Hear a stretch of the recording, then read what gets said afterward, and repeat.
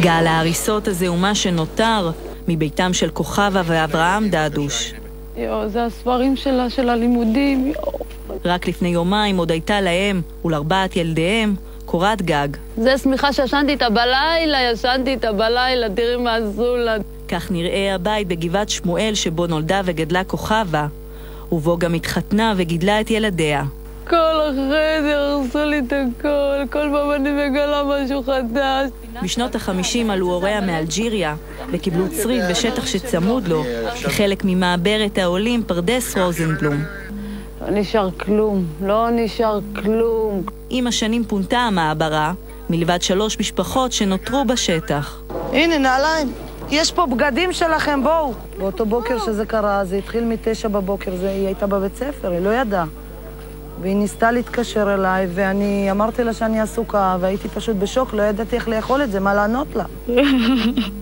כוכבה מספרת שמי שפונה משטחי המעברה קיבל פיצוי, והם שנשארו במקום מנהלים מאבק משפטי במשך שנים מול מנהל מקרקעי ישראל. פה באזור הזה היו אנשים שפלשו וקיבלו פיצוי, ומשפחת דדו שלא פלשה, גרה פה, מאז ומעולם. מסלקים אותה באפס שקל. אמרתי להם, תראו לי צו אה, הריסה, הם לא הראו לי שום צו הריסה ביד. לטענת עיריית גבעת שמואל, במהלך ההליך המשפטי בגין בנייה בלתי חוקית, הוציא בית המשפט צווי הריסה למבנים הבלתי חוקיים, ואף נקבע לוח זמנים קצוב לביצוע ההריסה.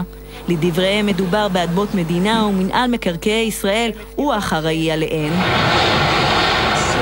שלשום הגיעו דחפורים. פשוט הם יצאו מהאוטו, התחילו לפרק דברים, לשבור הכל. היה לי קר, הייתי בלי מעיל, לא היה לי כלום, אני מבקשת מהם, אפשר מעיל? אני יכולה לקחת מעיל, ג'קט? הם לא נתנו לי כלום.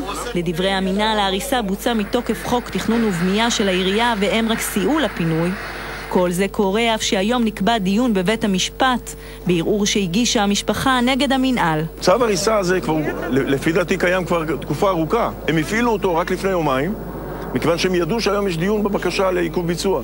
שני הצדדים במאבק המשפטי הזה ממשיכים לטעון לצדקתם, אבל בינתיים, ברגע אחד ודווקא בזמן שבחוץ משתוללת הסערה הגדולה, שלוש משפחות, 12 נפשות, מחפשות מקום להעביר בו את הלילות הקרים.